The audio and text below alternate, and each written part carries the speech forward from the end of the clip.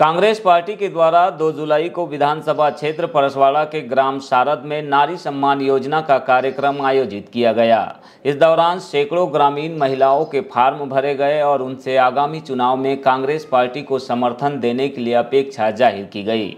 कार्यक्रम के उपरांत करीब 50 लोगों ने भाजपा की विचारधारा का त्याग करते हुए पूर्व विधायक मधु भगत के नेतृत्व में कांग्रेस पार्टी की सदस्यता ग्रहण की और आने वाले चुनाव में एक एक बूथ पर कांग्रेस की जीत सुनिश्चित करने का भरोसा जताया। कलावंती कलावंती भाई आपसे भी निवेदन है कि आप भी मंच पर आए। कांग्रेस पार्टी जिंदाबाद। कांग्रेस पार्टी जिंदाबाद। कार्यक्रम में कांग्रेस नेताओं ने उपस्थित महिलाओं और ग्रामीणों को वर्तमान भाजपा सरकार की जनविरोधी नीतियों को बताते हुए उसकी नाकामियाँ गिनाई साथ में यह भी बताया कि कांग्रेस पार्टी ने महिलाओं के सम्मान में नारी सम्मान योजना लागू करने की घोषणा की है। कमलनाथ की सरकार बनते ही महिलाओं को पंद्रह सौ रुपये प्रति माह सम्मान निधि और रसोई गैस पाँच सौ रुपये में दी जाएगी। इसके अलावा बचे हुए किसानों का ऋण भी माफ़ किया जाएगा। सरकार थी जो कांग्रेस सरकार थी, वो किसानों को क्या कहती थी मालूम है? हमारा अन्नदाता किसान है। ये क्या कहते हैं? फिलिस्तीनी किसान है, नक्सलवादी किसान है। इसमें फ़र्क करने की आवश्यकता है कि जब समय आया, झूठ बोला। नौजवानों को शिवराज सिंह ने झूठ बोला था चुनाव के पहले कि आए प्रदेश के नौजवान साथियों, चिंता मत करना। सबको उद्योगपति बना दूँगा। सबको 25-25 लाख रुपए का लोन दूँगा। और उसकी मार्जिन मनी मामा देगा। बताइए, एक हाथ को भी किसी मामा ने मार्जिन मनी दिया किसी को 25 लाख का लोन मिला, किसी को नहीं मिला। मतलब इन्होंने जब जब भी समय आया, झूठ बोलकर सरकार को बनाया। जब झूठ बोलकर सरकार बनाया तो पूरे प्रदेश और देश का एक वातावरण बन गया। इनके खिलाफ अब हमको इस सरकार को नहीं लाना है, हमको कांग्रेस की सरकार को ही लाना है। क्यों कांग्रेस की सरकार को लाना है?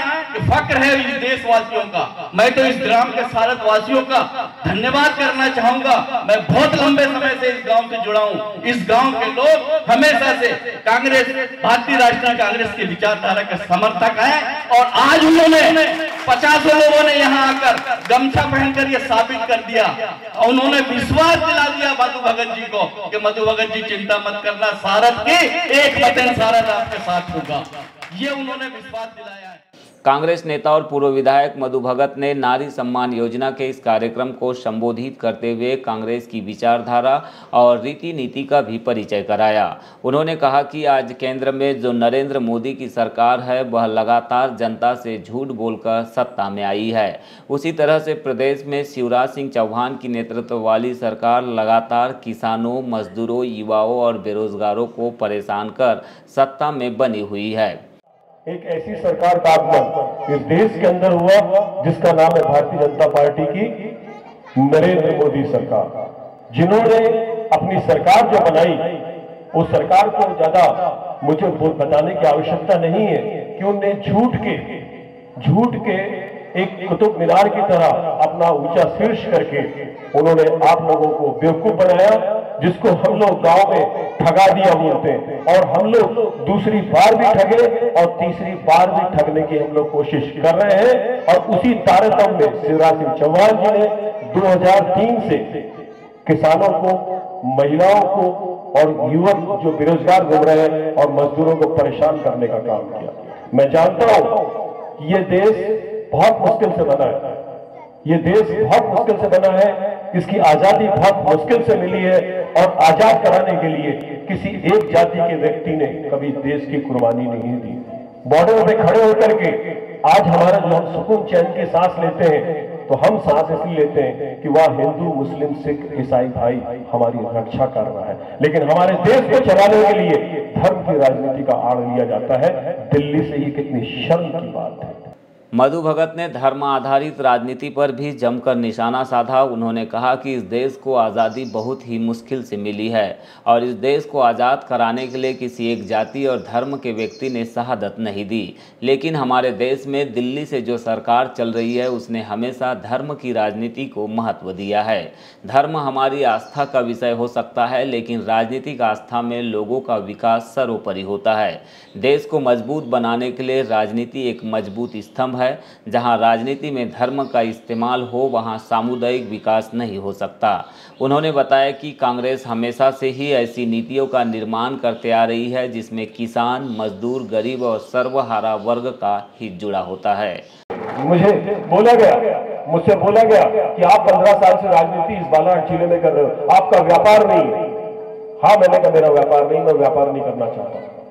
मैंने कहा, मैं यहाँ जन सेवा करने आया हूँ। जो मेरे पास मेरी अपनी संपत्ति है, मैं उसको भी दूँगा और सरकार की जो योजना है, उसका भी लाभ मैं आपको दूँगा और ये लाभ का मैंने वो भरपूर फ़ायदा आठ से लेकर के तेरह से लेकर अठारह तक आप लोगों तक पहुँचाया। मैंने अपनी बिटिया को पचासी परसेंट में पाँच हज़ार और नब्बे परसेंट में दस हज़ार रुपए की राशि दी और जहाँ जहाँ ज़रूरत पड़ी सभा मंच की, वहाँ मैंने सभा मंच दिया, सामुदायिक भवन दिया और साथ में जब मैं ये पैसे वितरित कर रहा था तो मैंने साथ में नारियल का एक और एक अगरबत्ती दी, क्योंकि मैं कमीशन नहीं लेता, मैंने साफ़ साफ़ कह दिया था। किसी भी सरपंच, किसी भी सचिव को मैंने कभी नहीं कहा कि तू मेरे लिए पंडाल लगाना और तू मुझे 20 परसेंट कमीशन देना।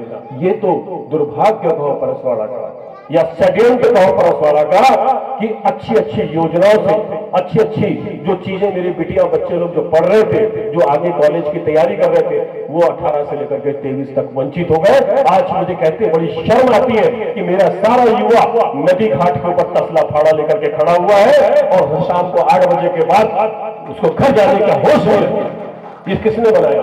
ये वर्तमान मंत्री का हाल है। ये वर्तमान मंत्री ने क्या हाल कर दिया?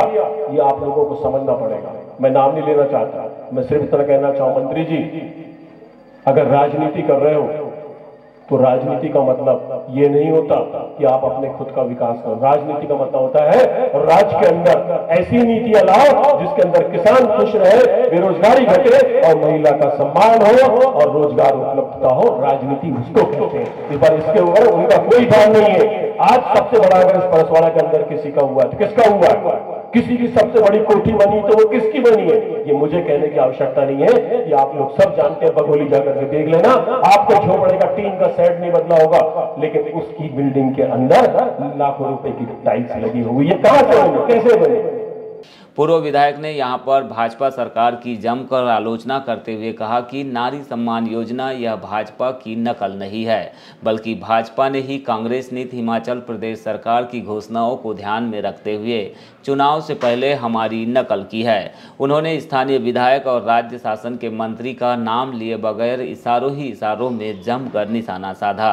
साथ में रेत, शराब, जुआ, सट्टा और अवैध कार्यों से इस क्षेत्र को बर्बाद किए जाने और युवाओं के भविष्य से खिलवाड़ करने का भी आरोप लगाया।